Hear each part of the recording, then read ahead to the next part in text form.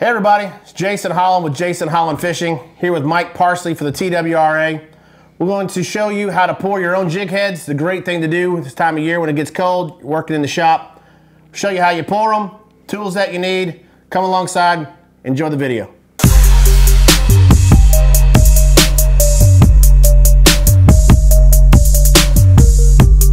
All right, so today we're going to uh, pour jig heads and uh, these are swim bait jig heads and what you have to have is a mold. This is a Do It mold. Do It uh, produces several different style molds. You can, you can make jigs, you can make swim bait heads, pretty much make anything that is sold fishing equipment wise that is made out of lead, you can buy it and make it yourself.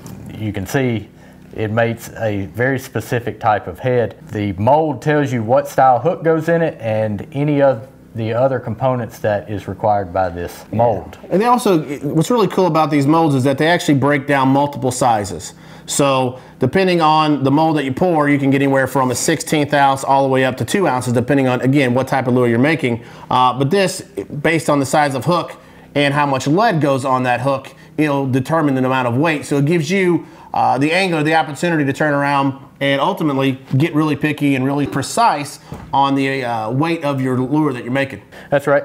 And so to actually make the jig head, all you need to do is put the hook in the mold and any of the other components, put it in there and close the mold up. Have a, a lead melting pot. You put the lead in there and turn it on. It melts the lead. You put the mold up under the pot.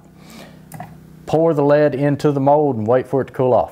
Once it's cool, it only takes takes a second. You can open it up. Yeah, what's really great is remove that. This extra part is called the sprue.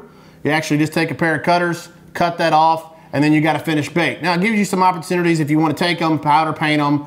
Uh, from there you can add eyes, a lot of different customizations that you can do, but this basic setup, you don't have to paint them, you do anything you want to. Uh, you get a mold, you can get a melting pot, and all in you're talking maybe 100, 125 bucks and you're out making your own baits. And there's something really satisfying about taking raw components, making your own, and then ultimately catching a fish on it. It's just a great sense of satisfaction of you're taking something that you've made and then you're actually turn around and producing fish with it. That's right. So you can make dozens of these jig heads in no time and uh, you did it all on your own.